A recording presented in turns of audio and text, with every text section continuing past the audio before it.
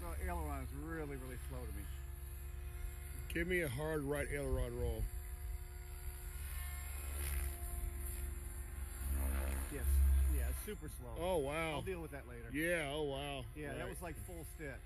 Oh wow. This is like I usually. Maybe it's in safe mode. Um, no, it's not. I, I didn't do.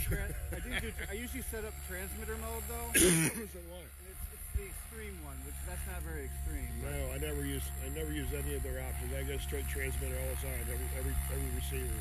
I'll be switching to transmitter. I'll do a real auto just to make sure it works. Wind's coming straight at us, so you're coming status for the auto. I screwed up on the throttle hold switch. Yeah. Nice. I, I, I hit the wrong throttle hold switch, so I was like, See what he switches, man. Never change what you what you're used to. I'm so I'm so shaky I can't talk. All right, man. Well, good job, Bo. Thanks, man. Later.